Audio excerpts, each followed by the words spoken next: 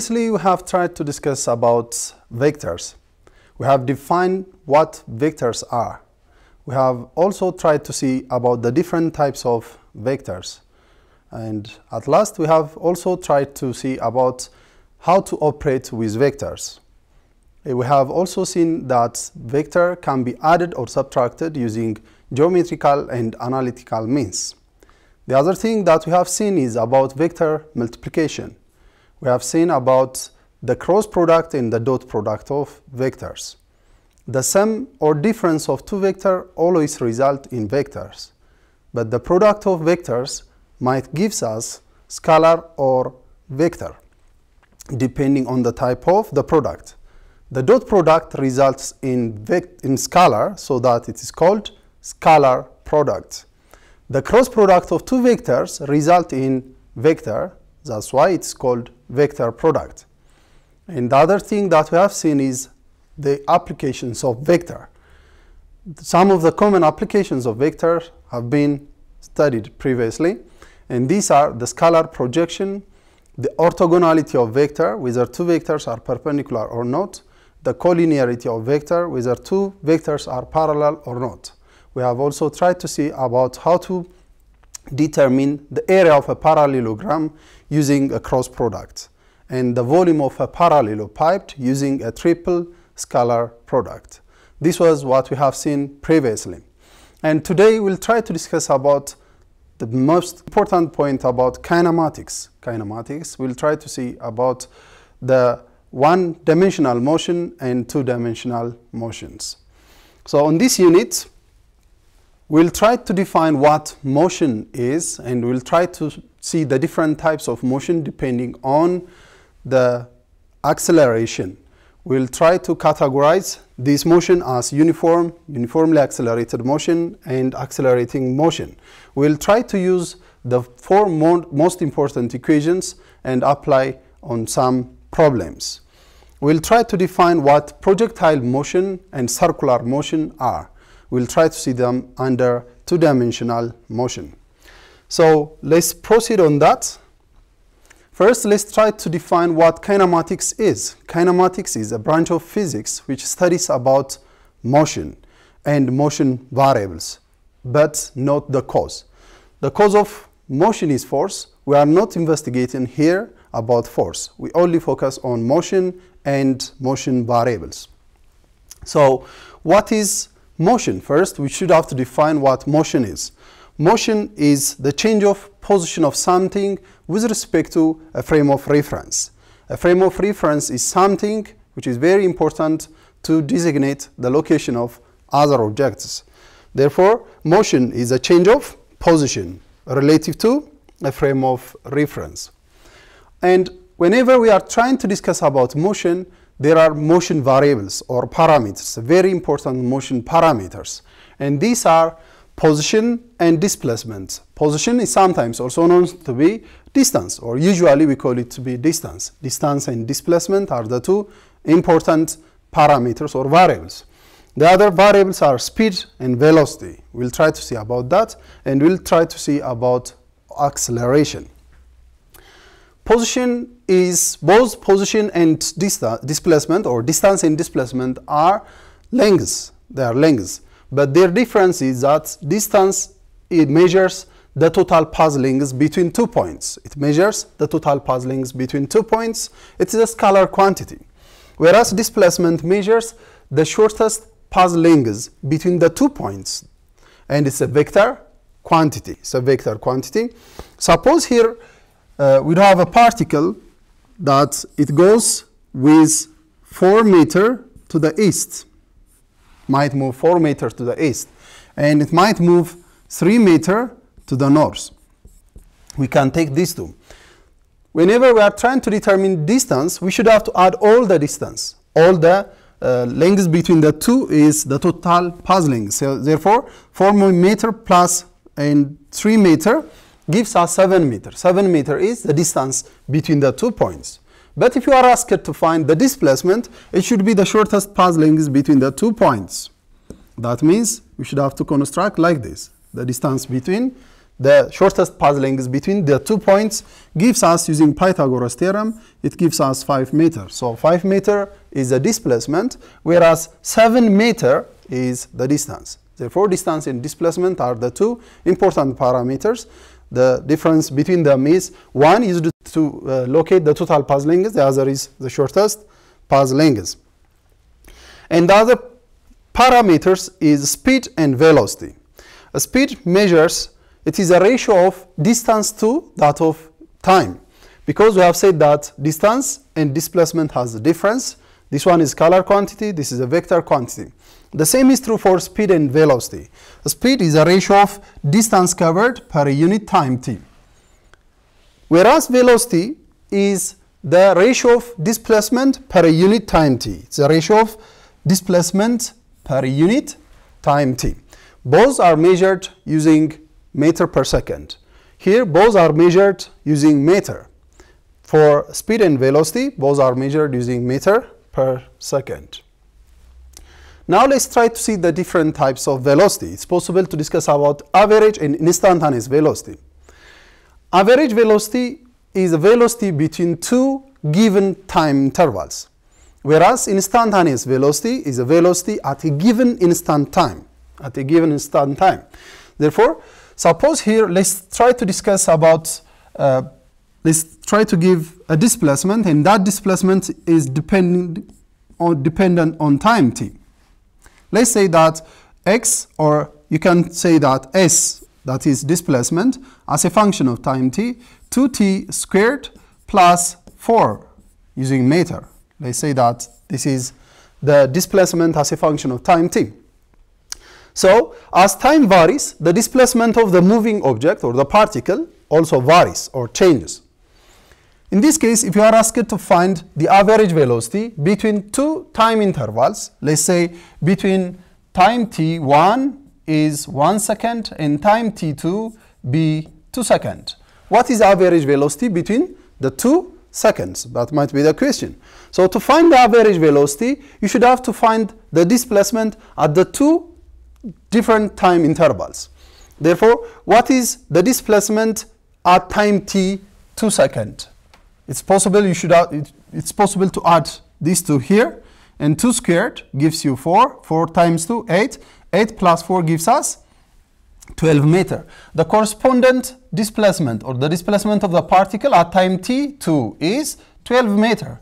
The particle reaches at 12 meter at time t2 second. How about at time t, one second? When you add, when you put one here, one squared gives you one, one times two, plus four gives us six. Therefore, the correspondent displacement gives us six meter, six meter. Therefore, the average velocity between the two time intervals gives us, the average velocity gives us the x2, the time, the displacement at time t2 minus x1 over time t2 minus t1. This is what or how we determine the average velocity. Therefore, when you add 12 here, when you put 12 here, minus 6 over the time t2 is 2 second minus 1. When you subtract this, gives you 6 over 1. Therefore, the average velocity becomes 6 meter per second. This is how we determine the average velocity between two time intervals. Whenever we are trying to discuss about instantaneous velocity, instantaneous velocity is a velocity we are asked at a given instant time, at a given instant time. Suppose for the question provided above, here we have a particle moving with this function, the displacement which depends with time t. Therefore, it's possible to find the instantaneous velocity, like what is the instantaneous velocity of the particle at 3 second, at 3 second. Therefore, to find uh, the instantaneous velocity, we should have to use a mathematical approach known as limit or derivative. Actually, you have learned um, this at, in your mathematics lesson. So it's possible to use the derivative techniques or the limit techniques. Therefore, it's possible to derive these functions and find the instantaneous velocity. How do we derive? Well, it's a mathematical approach. We should have to use derivative we, we should have to put these two here. 2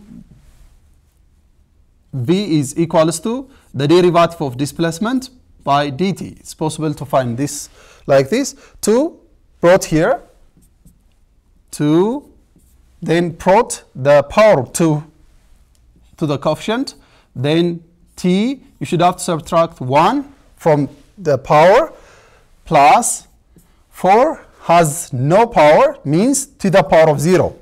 Whenever you put 0 here, 4 into 0 gives us 4. Whenever you derive constant numbers with respect to time, is 0. Therefore, this gives us 4 times t. 4 times t is the velocity with respect to time. Then we have asked to find the instantaneous velocity at a given instant time. Suppose the time is 3 seconds. Therefore, the velocity instantaneous at 3 seconds means we should have to put 4 and the time is 3 seconds. Therefore, this gives us 12 meter per second. 12 meter per second is the instantaneous velocity of this particle at once again at a single second and that second is 3 seconds. Whenever you are asked to find average velocity, it should be the average velocity between two time intervals. So these are the two important terminologies. And the other point here is it's the same is true for acceleration. Acceleration also we have average acceleration and instantaneous acceleration. To find the average acceleration, it's acceleration between two time intervals. The velocity function at time t2 minus velocity at time t1 over t2 minus t1 is average velocity. Whereas we are if you are asked to find instantaneous acceleration, it's acceleration at given instant time t. Therefore, it's possible to use the derivative of uh, velocity function. Now let's try to see about types of uh, motion. Depending on acceleration, we do have three types of motion. On a given rectilinear or motion along a straight line, we have three types of motion depending on acceleration. What are they? And these are uniform motion, uniformly accelerated motion, and accelerating motion. The parameter is acceleration. For a uniform motion, for a uniform motion, acceleration of that body is zero. We'd have zero acceleration. That means the acceleration is zero while the velocity remains constant. For a moving object, the velocity remains constant. Okay? The initial velocity of that particle is the same as the final velocity of that particle. Therefore, the motion is said to be uniform motion. Uniform motion has constant velocity. If the velocity is constant, the acceleration is zero. We know that we define acceleration as the final velocity minus the initial velocity over time t. But velocity initial and velocity final are equal. If you put these equal, if you subtract equal numbers, it will give you zero. Therefore, keep that for a uniform motion, acceleration is zero, but velocity remains constant. And here, for a uniformly accelerated motion, the acceleration remains constant. The acceleration remains constant. The rate of change of velocity remains constant, or the acceleration remains constant. One good example is free fall, or vertical motion, is a good example of uniformly accelerated motion. When an object is thrown downward or upward, we are using gravity, and gravity is always 9.8 or approximately for calculation 10 meter per second square. So the acceleration remains constant. The velocity changes, and that velocity changes per unit time t remains constant. Here the velocity, the velocity remains constant, acceleration zero. But for a uniformly accelerated motion, acceleration is constant. Whereas accelerating motion is the motion in which the acceleration itself varies with time. Here the acceleration remains constant and here the acceleration is zero, but for accelerating motion is a motion in which its acceleration itself changes with respect to time. So keep this in your mind and we mainly focus on these two types of motions. We focus on uniform motion and uniformly accelerating motion. And the big four um, equations or mathematical formulas used for uniformly accelerated motions are this and this it says for uniform horizontal motion or it might be for a free fall vertical motion for uniform uh, horizontal motion the big force can be the big four equations can be given as the average velocity is equals to the initial velocity plus the final velocity over time t2 the final velocity is equals to the initial velocity plus acceleration time t and remember that this acceleration is constant And the final squared is equals to velocity initial squared plus twice of acceleration times displacement.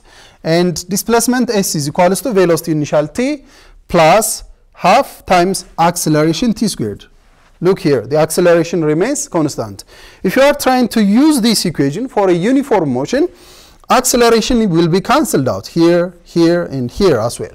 So for a uniform motion, you'll have, for a uniform motion, uniform motion, the only thing that you have is this equation. S is equals to velocity initial t, velocity initial t. But velocity initial and velocity final are equal. In this case, velocity initial and velocity final are equal. If it is for a uniform motion, for a uniform motion, the velocity remains constant. And the velocity average is the same as the initial, is the same as the final. Therefore, instead of using velocity initial or instead of using velocity final, it's possible to use velocity average. So displacement s is equal to velocity average times t. It's possible to use this one for a uniform motion. But usually use this equation, the big four equations, for uniformly accelerated motion and keep this in your mind. And for, for free fall, for objects thrown upward or downward, remember that you should have to convert the acceleration using gravity. Using gravity. For an objects which are thrown downward, you should have to use a plus sign here and for objects which are thrown upward, you might use minus sign convention. And note that gravity is always positive 10 meter per second for calculation purpose, for calculation, okay? So keep this in your mind. For a uniformly accelerated motion, we have to use these equations. It's also possible to uh, represent motions using graphs we do have a displacement velocity graph, velocity velocity graph. It's possible to have acceleration velocity graph. So we can have such a graphical representation. For a uniform motion, we have said that acceleration is zero. Acceleration zero, and the velocity remains constant. And the velocity displacement velocity graph, the slope shows us a velocity, and the slope remains constant. So note that, starts from acceleration, for a uniform motion, acceleration is zero. So we have zero acceleration. It is overlap on time t, on horizontal graph. So the acceleration remains zero despite the change of time t. But here it shows you velocity versus graph. The acceleration is zero, but the velocity remains constant. At initial time, the velocity doesn't change. At some other time, the velocity doesn't change. It remains constant. Here as well, for displacement versus graph, this shows you for a uniform motion. But for a uniformly accelerated motion, the acceleration starts from acceleration. The acceleration remains constant. Despite the change of time t, the acceleration remains constant. Suppose here if the acceleration is uh, 4 meter per second squared, so at time t0, at time t1, at time t2, at some other time, the acceleration remains constant. Okay? But here, the acceleration is 0. When you come here, the velocity versus t graph, it shows you on this direction, the velocity changes. The velocity changes from 0 to 2, 3, 4, and, and the like. And the acceleration remains constant, meaning the time, the difference, the change of velocity between h and every interval remains constant. The acceleration remains constant, but the velocity increases. increases.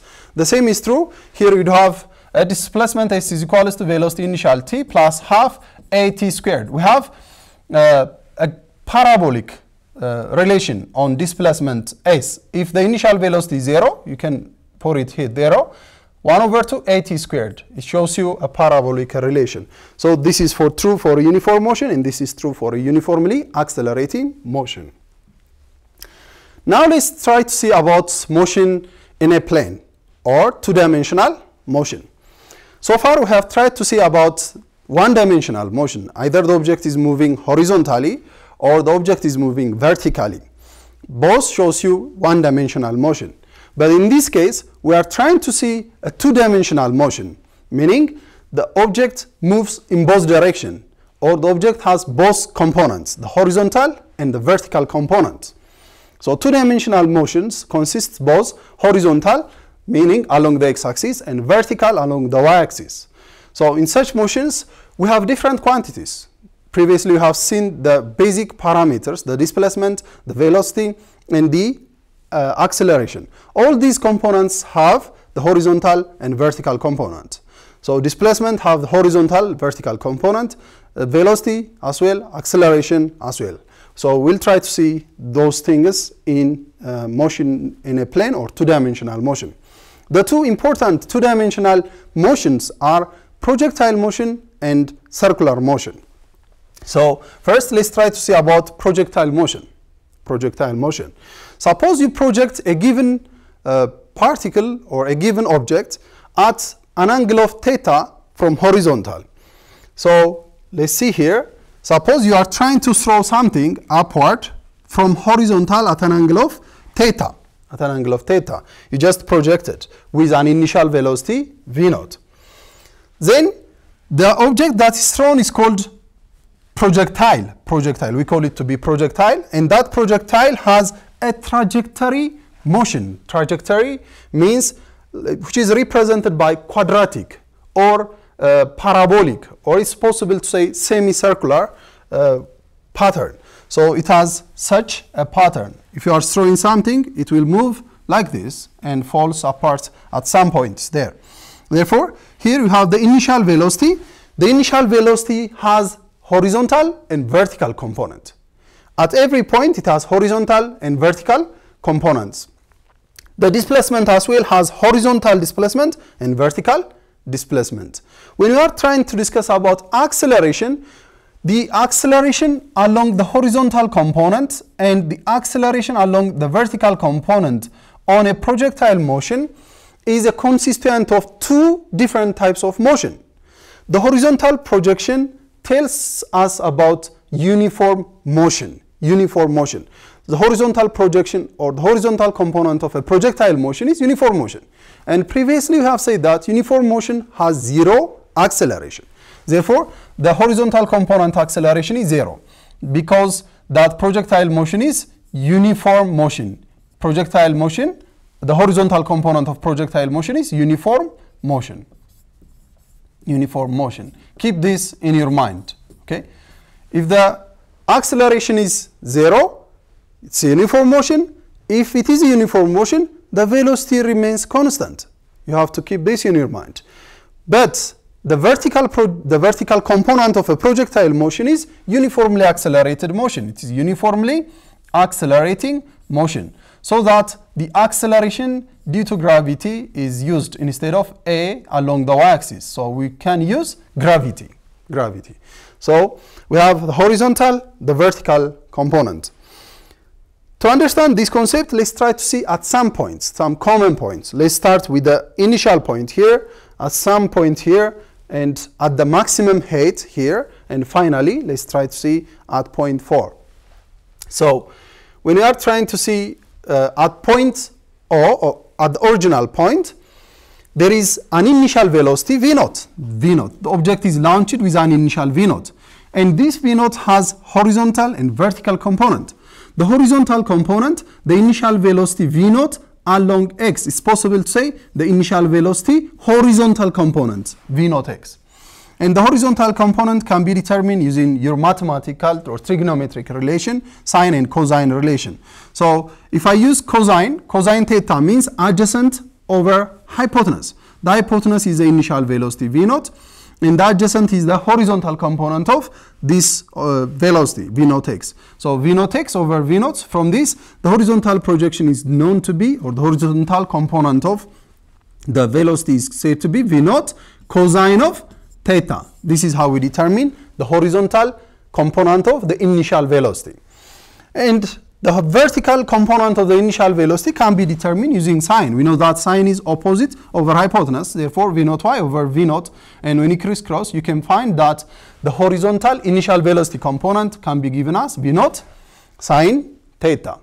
And one thing is the horizontal component and the vertical component. When you add these two, that means it's a vector quantity. You should not have to add linearly. Rather, you should have to use uh, parabolic condition, or you should have to use a trig condition. Therefore, the square root of v naught squared and vy squared under root gives you v naught or the initial velocity. Suppose here you do have, let's take an example. The object is thrown with an initial velocity of 100 meter per second at an angle of theta be 53 degree. Suppose that the object is launched at an angle of 53 degree. Then what is the horizontal component of this velocity and the vertical component of this velocity?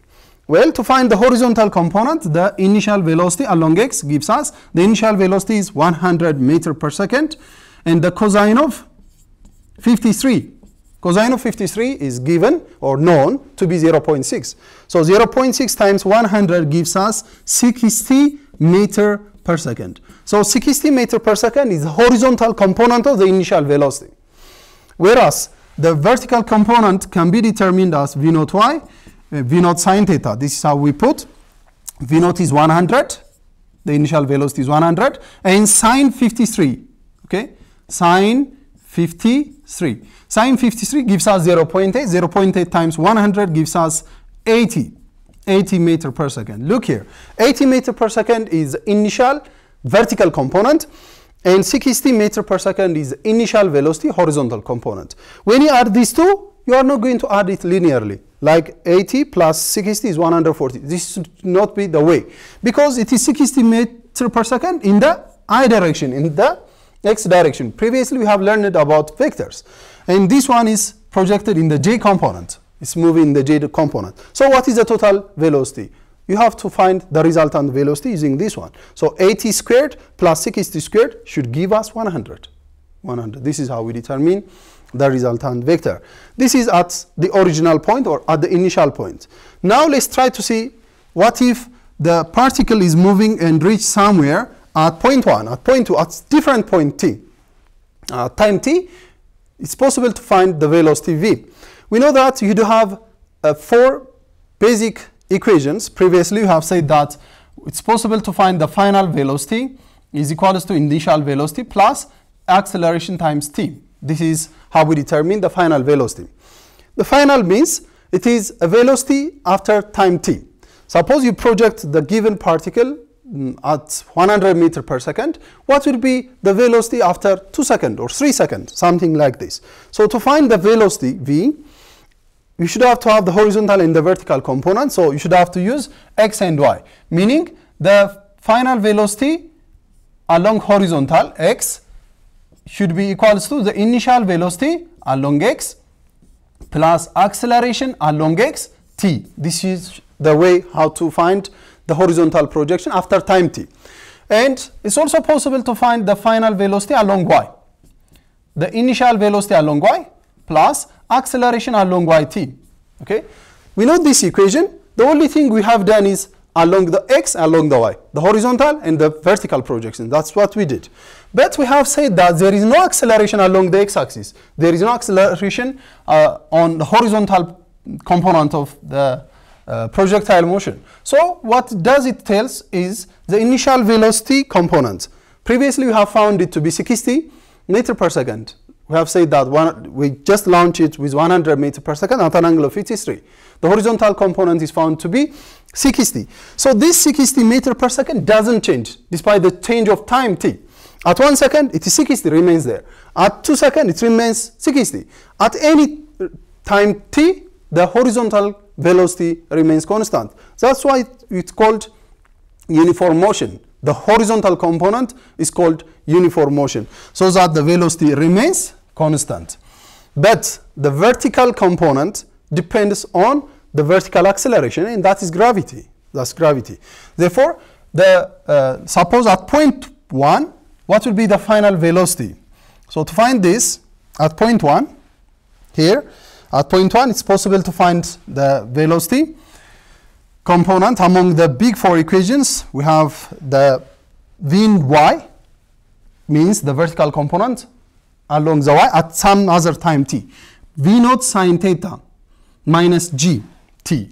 Here, we have said that v final y, or it's possible to use vy the final velocity, meaning the velocity at a given time t. The initial velocity component, previously we have said that it is v naught sine theta, sine theta. And plus here, we have to put the gravity. Gravity, acceleration along y is gravity, either plus or minus. We have a sign convention to use a plus sign when the projectile is moved downward, whereas minus sign when the projectile is launched mm, upward. Therefore, this is launched upward. If it is launched upward, you have to use the negative g. But suppose on a given elevation, you might uh, project something downward. Okay, you might throw something downward. At that moment, you can use plus sign. So plus or minus gt. Therefore, in this case, we are since we are launching upward, we should have to use the minus sign. The minus sign. This is a sign convention. Mostly, we use this sign convention. We have different sign convention, about three uh, type of convention, but the most common sign convention is this one.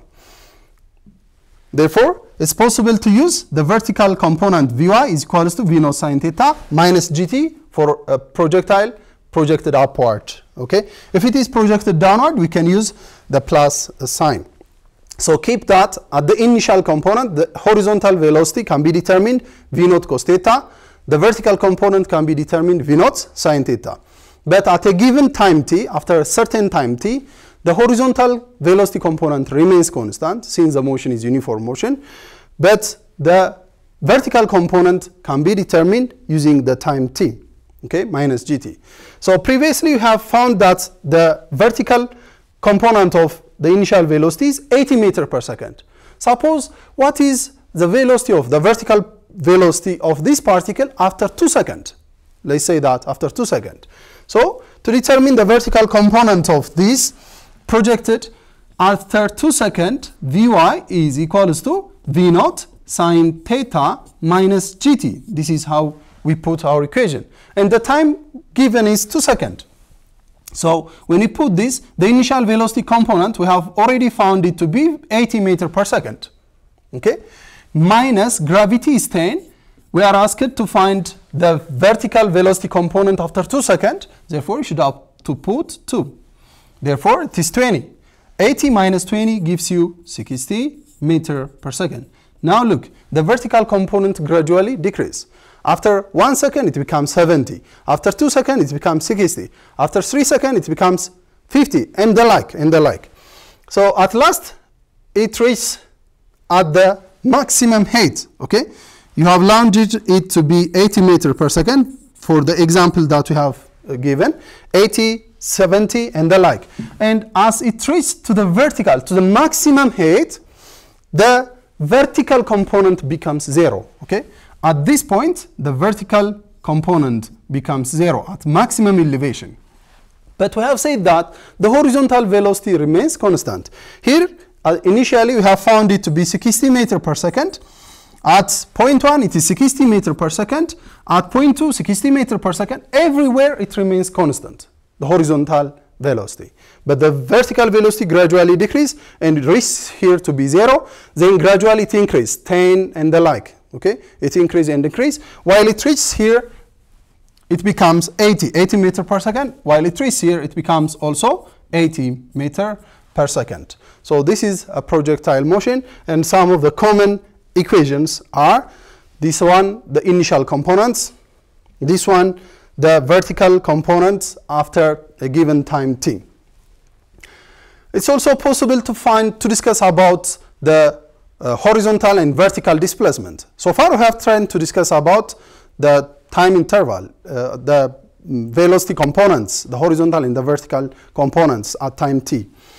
Now, how do we determine the displacement, the horizontal and the vertical displacement? We know that the displacement equation is displacement s is equal to velocity initial t plus half at squared. This is the general equations that we use for uh, uniform or uniformly accelerated motion.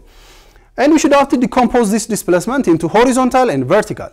For horizontal, we use x, okay, we use x, and for vertical, we use y or h sometimes. Therefore, the horizontal displacement can be rewritten as instead of s, we use x, instead of velocity initial, along its horizontal v naught x t plus half the acceleration should be horizontal x squared. But we have said that the horizontal acceleration is zero for uh, projectile motion. So this can be uh, zero. This one zero. Therefore, the horizontal displacement can be given as x is equals to v original x plus t. And we know that the initial velocity component can be given as v naught cosine of theta okay, V naught cosine of theta times the time t. This is how we determine the horizontal displacement. Okay. Whereas to determine the vertical displacement, we know that this is the general equation. Instead of using s, we can use y or h. Okay. Let's use y. Then the velocity v naught should be the vertical component v naught yt plus half times acceleration along yt. But the acceleration along y is a gravity, so we use g. And the velocity v naught sine theta, the vertical component, the initial velocity component is v naught sine t. So we use plus or minus. We have said that for upward minus, for downward you can use plus. So this is how we determine the velocity uh, component, the displacement vertical component. So y is equals to v naught sine theta t minus half gt squared. This is true for uh, the case that we have. Previously, we have launched vertically upward at an angle of 53 degree. Suppose, what is the distance, uh, the horizontal and the vertical displacement at time t 2 seconds? If we are asked to find the displacement at time t 2 seconds, we know that x is equals to v naught cos theta, we have already determined it to be 60 from our previous example, it is 60 meter per second. Here we have a time variable. Therefore, if you are asked to find the displacement of that projectile object at, after 2 seconds, you should have to use 2 seconds. After 3 seconds, you should have to use 3, whatever the time is given. So in this case, the horizontal displacement is 120 meter. 120 meter. How about the vertical elevation of that projectile? Therefore, here we have the initial velocity component to be uh, 80 meter per second. Okay, and you should have to put time t 2 second. We have to use 2 minus 1 over 2. Gravity is already 10 for calculation, and the time is 2 second squared. Okay, therefore this gives us 160, and this gives us 40. You can eliminate uh, 2 squared 4, and here 20. Therefore, when you subtract these two, this gives us 140 meter. The vertical elevation of the projectile becomes 140 meter, and the horizontal projection uh, or the horizontal component is 120 meter. Let's see the our, our projectile here. Suppose after time 2, two seconds, it might reach here. Okay, The horizontal displacement x is 120 meter and the vertical elevation is becomes 140 meter.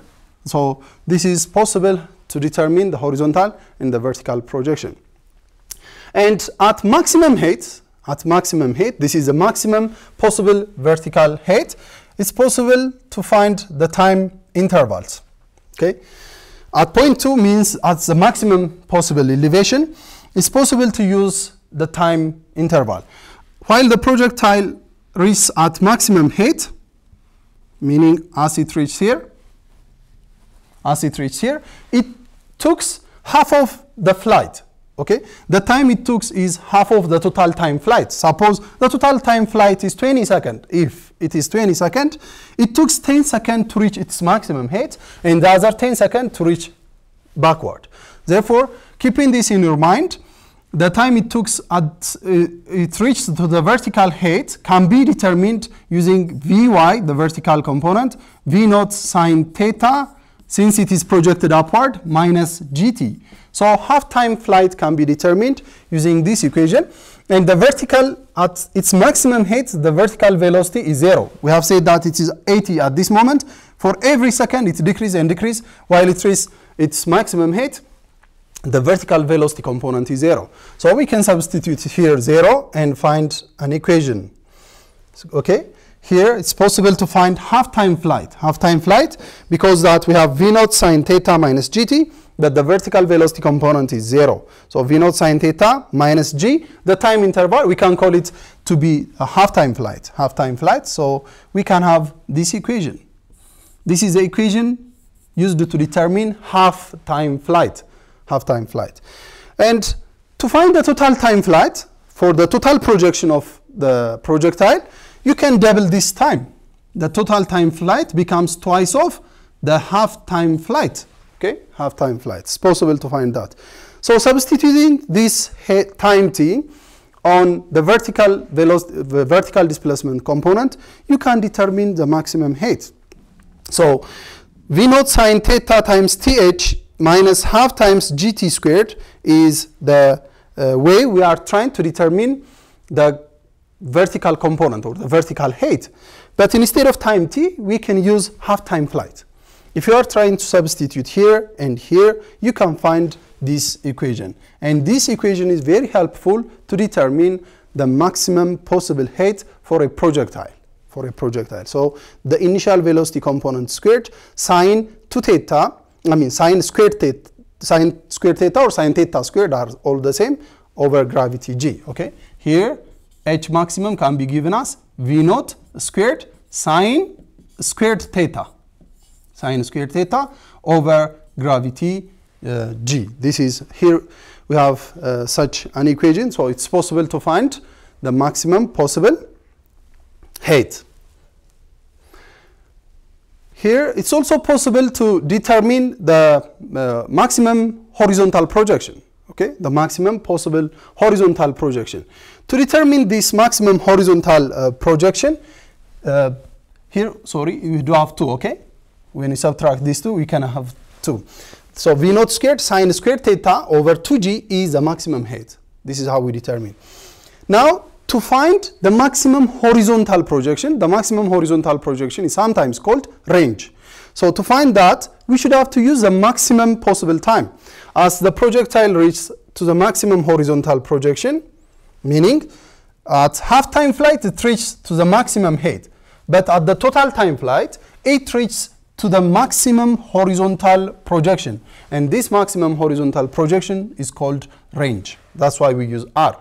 So how do you determine the maximum possible horizontal projection? We know that x is generally given as v naught cosine of theta times t. Here, look, if we use time t to be the total time flight, if you are substituting the total time flight, which is twice of half time flight, it's possible to find the possible maximum displacement or the range. So maximum horizontal displacement is determined at time t is twice of half of the time flight, t half. Therefore, let's substitute the half time flight doubling it or twice the half time flight. Let's see here. Here, the half-time flight is given to be v naught sine theta over g. But when you multiply it by 2, you can find it to be the total time flight. Instead of time t, you can substitute this one, twice of v naught sine theta over g, so that it's possible to find x. And the x maximum, or we call it to be range, r is equals to v naught squared sine 2 theta over g. Look here, it says sine 2 theta from your trigonometric concept, sine 2 theta means twice of sine theta cos theta. This should be the way. Sine 2 theta doesn't mean, okay, doesn't mean twice of sine, sine theta. It is not the same as that of this. It is not the same as twice of sine theta. These are not equal. So whenever you are trying to calculate, note that sine 2 theta means twice of sine theta and cos theta. Cos theta. Therefore, it's possible to uh, determine the horizontal maximum uh, horizontal component or range. It's possible to determine the vertical component h maximum. It's possible to determine the velocity component at different locations. So these are uh, the most important points. So far we have tried to see about one-dimensional motion, uh, we have seen about uh, defined motion and we have tried also to see to classify different types of motion depending on acceleration. We have also seen about the uh, projectile motion or motion into dimension uh, since uh, one of the two-dimensional motion is projectile motion. We have seen about projectile motion so far. So this is all uh, that I've got for today. Next time we'll try to see about circular motion. Thank you. Goodbye.